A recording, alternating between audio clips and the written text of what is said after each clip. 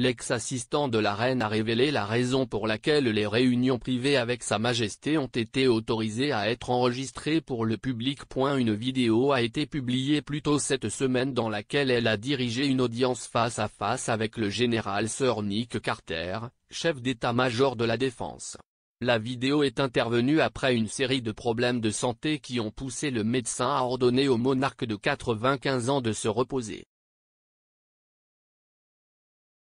Un expert royal a révélé que les vidéos de la reine ne sont diffusées que dans des circonstances exceptionnelles.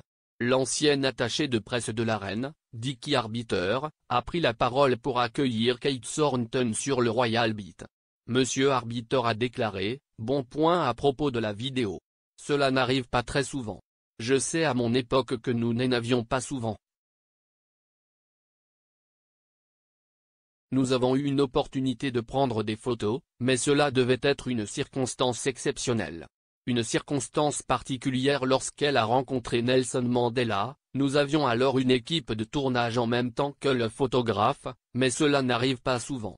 Et cela arrive pour une raison. Madame Thornton a demandé. Dicky, ayant travaillé pour elle et très étroitement autour d'elle, comment va-t-elle gérer sa santé et tout ce qui se passe dans son monde à un moment comme celui-ci? Monsieur Arbiter a répondu, eh bien, elle est stoïque, et elle se débrouille remarquablement bien. Je veux dire, la mort du prince Philippe aurait célébré son 74e anniversaire de mariage dans quelques jours. Point auparavant dans l'épisode, les experts royaux ont discuté de la façon dont la vidéo a été publiée intentionnellement pour garantir au public que la reine va bien. Point la rédactrice royale de Vanity Fair, Cathy Nicole, a déclaré, si vous repensez à la période pré-pandémique, obtenir des séquences vidéo de la reine ayant une réunion avec un public comme celui-ci était en fait incroyablement inhabituel.